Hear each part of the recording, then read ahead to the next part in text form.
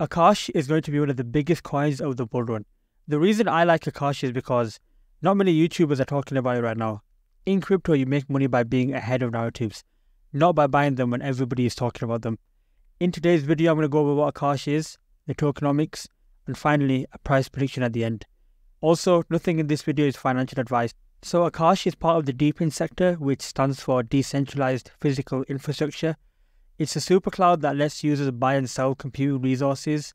So with Akash, you can run your own cloud, sell unused cloud to others, buy cloud from other people and use it to run applications. So what Akash really is, is it's a marketplace that connects people who have spare computing power with those who need it to run their apps.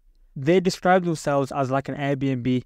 If people have underutilized computing power, they could just lease it to people to earn AKT tokens from companies that need that computing power.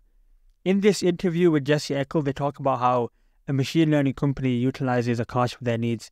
So there is a real need for this service. A couple of more things you need to know about Akash before we get into the tokenomics.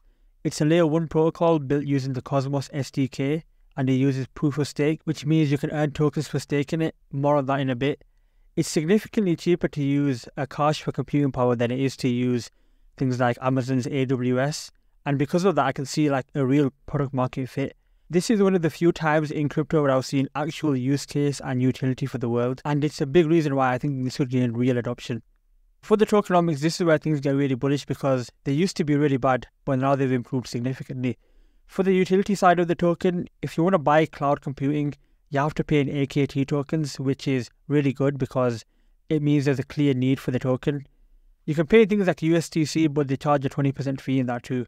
It's also used for governance, securing the blockchain with proof of stake. And from the supply side, this is one thing that I really like. In the last bull run, it did kind of bad because of how high the inflation was. It was inflating around 4.5% every month. But over time, this inflation has come down, so this bull run, it won't have that same headwind. In fact, right now the inflation is only at around 12.6%. But word of warning, if you hold AKT, you kind of have to stake it, otherwise you're going to get diluted by this inflation over here. And currently the price is down around 50% from its previous all-time high. But if you actually look at the market cap, it's already breached its all-time high. So don't look at this and think we haven't even broken all-time highs yet. It's still kind of early. I'll get into what I think of Akash as a buy right now towards the end of the video. But I just wanted to make that point clear now. But another bullish thing that I did find was that all the private sale investors, all their tokens are fully vested now. So that's a really bullish thing to see. But the most important thing I always look at when I'm analyzing a project is how is the token economy actually going to work? The key thing is I like to ask myself is does the token directly benefit from increased adoption? Which is as more people use Akash, does that make the token go up in price? And the answer for Akashi is yes. The entire project doesn't work without this token. They recently revamped the tokenomics so that when people buy and sell cloud computing, they take a small fee. And some of that fee goes towards stakers, and some of that fee is used to buy AKT tokens and then burn them. So that basically means as more people use Akash and there's increased demand for cloud computing, the greater the revenue that Akash is going to get. And that means more fees being paid out to stakers and more tokens being burned.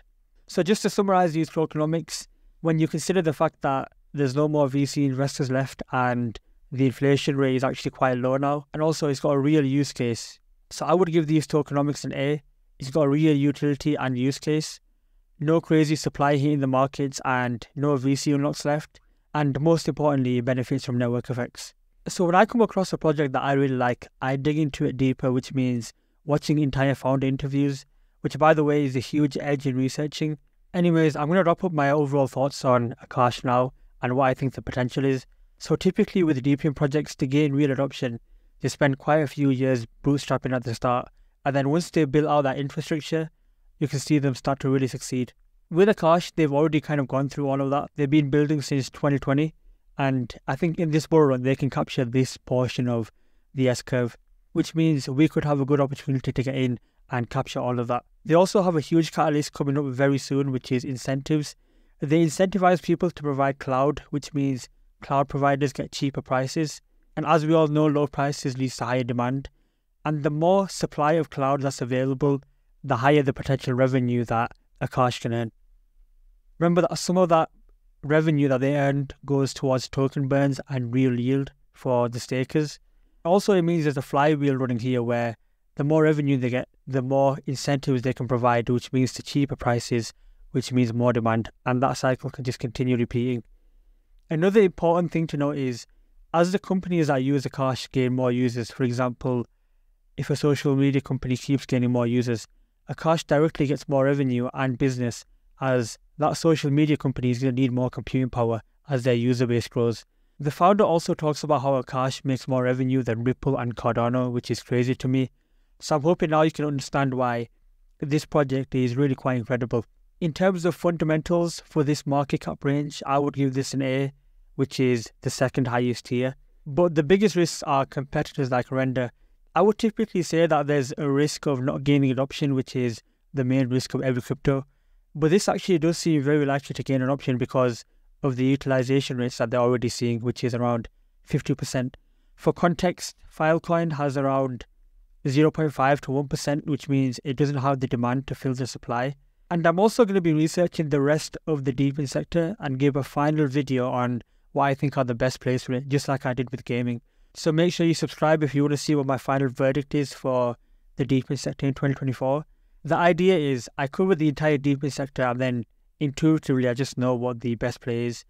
It's crazy that I'm going to be giving this away for free on here, so make sure you sub if you haven't already. And before I give you my price prediction, let me just show you what my plan is for 2024. I think in 2024, a lot of alts that people hyped in 2023 are going to be irrelevant, and new projects or ones that have strong communities will stay relevant. That's why I'm going to be dedicating most of my time to building the ultimate portfolio and keeping an eye out for new and upcoming opportunities, both large and small caps. If you want to join a community of people who are also on this same mission and also see what coins I do end up picking for my main portfolio, then be sure to join my Discord. It's free right now, but I'm going to lock it soon. So make sure you do join because this server is actually really active. And the biggest mistake you can make is going through a bull run by yourself without having anyone to talk to. Anyways, back to Akash. Trying to go for 100 X's across your portfolio is the fastest way to get wrecked in my opinion. You need a balance between solid projects like Akash and the degen stuff. Another thing I'd like to say is if a certain sector is getting too hot, it's possible to rotate your money to things like Akash, which haven't had a lot of mainstream attention.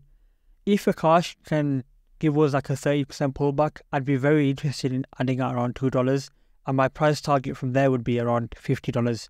In the Discord, I'm setting up a watch list of tokens that I'm going to be planning on buying or considering buying, so if you want to see that, then be sure to join. Jesse Eckel's price prediction for Akash is like $150, which I think is really optimistic.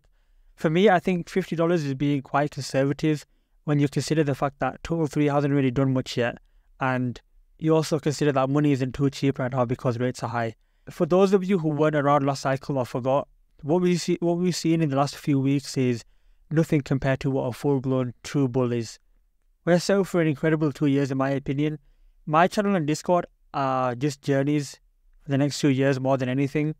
And the Discord will lock soon, so make sure you get in before it does. The link is in the description.